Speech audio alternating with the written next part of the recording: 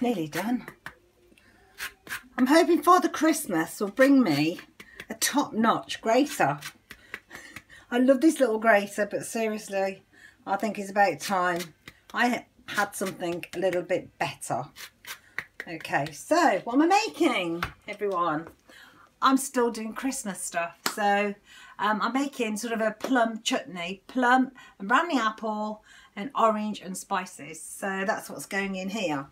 So uh, in there I've got uh, Bramley apple cut up, uh, Bramley apple grated because I like to mix up the textures, red chilli, star anise, orange zest, onion, um, a little bit of cider vinegar's gone in there.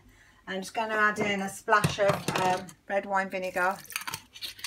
And the heat's on. Turn up a little bit more.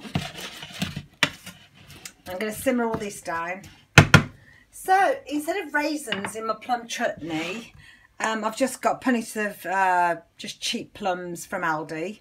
Uh, stone and cut them up and I've got some black seedless grapes. So instead of raisins I'm cooking with grapes. It will give us a very, very similar taste but you know it won't be the same as um, using raisins exactly.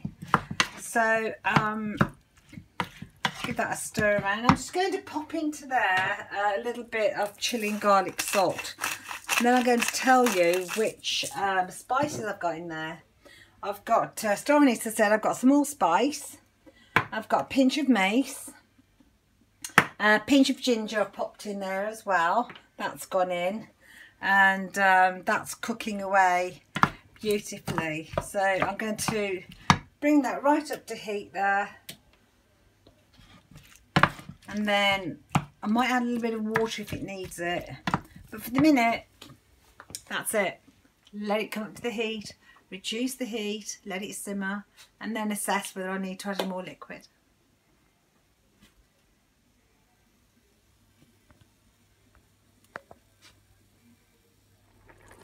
I absolutely forgot to tell you, um, I grated in there some fresh ginger as well.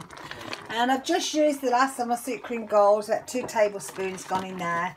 And also two tablespoons of port and that's simmering now. I'm going to turn the heat right down and let it bubble away until it thickens up and the apples go soft. Oh, that smells amazing. Absolutely amazing. Now I was going to put port in it, but I really don't think it needs it. I've, no, it doesn't, Darren. The cameraman's being naughty. No port. Going to taste them. I'll have the port. Josh, let's try a little bit. Oh, Needs port. that is good. Needs port. Wow. And then the only thing I put in it um, halfway through cooking was this cinnamon stick here, which I'm now going to take out elegantly, like so. and then I'll put in a tablespoon of tomato puree, and that is it. So just going to transfer that into my dish here. So this is plum, and apple chutney. And instead of raisins, I've used grapes. Wow, it smells so Christmassy. This is going to be amazing with leftover meats for Christmas after Christmas dinner. So as you see here also, I've already made my family's cranberry sauce. So I'm really organised this year. So we've got that for Boxing Day or for Christmas evening if people want a snack. Uh, they're going to be fabulous chutney. And uh, yeah, I think I'm doing all right this year. Merry Christmas.